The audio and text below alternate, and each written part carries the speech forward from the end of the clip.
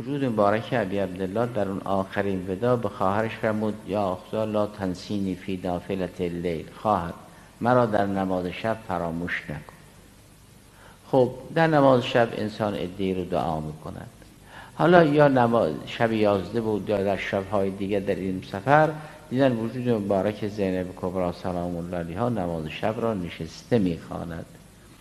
عرض کردن که خب ثواب ایستادن بیشتر است اما دیگر این زانوهای من طاقت ایستادن ندارد حالا آمدن خواستن حرکت کنن. دختر ابی عبدالله دید وجود مبارک زینب کبرا با این بدن گفتگوهای زیادی دارد. این خنجر شکسته ها و این کلوخ ها و اینا رو کنار میدارد.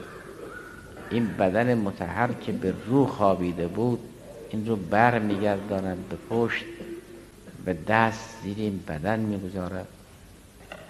با خدا گفتگو دارد ربنا تقبل منا. خدا یا این قربانی رو از ما قبول کن.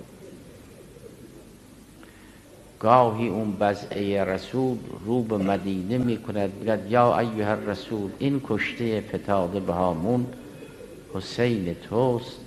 این سید دست و پا در خون حسین توست. وجود مبارک زینب به زحمت برادر را شناخت.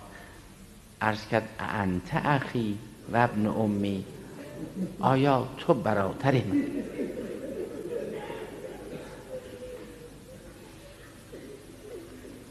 تو پسر مادر من. یه وقتی هم گفتن زینب آمده کربلا. حالا اربعین بود غیر اربعین بود. زبان حال زینب کبرا این غم و اندوه همه این زنا و بچگان بچه ها بهده زینب کبرا بود. زینب که حالا از سفر بر میگرده کنار قبر متحر عبدالله شاید بتواند این چنین بگوید. عرض کرد برادر. یه وقتی بود من آمدم اینجا. خواهر برادر را نشد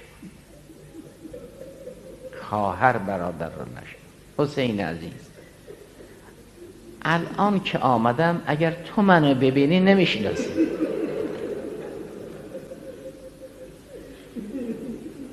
الان وضعی برای من هست که برادر خواهر را نمی‌شناسی. السلام علیکم یا اهل بیت النبی ويا معدن الرسالة ويا مهد الله ويا مختلف الملائكة ورحمة الله وبركاته.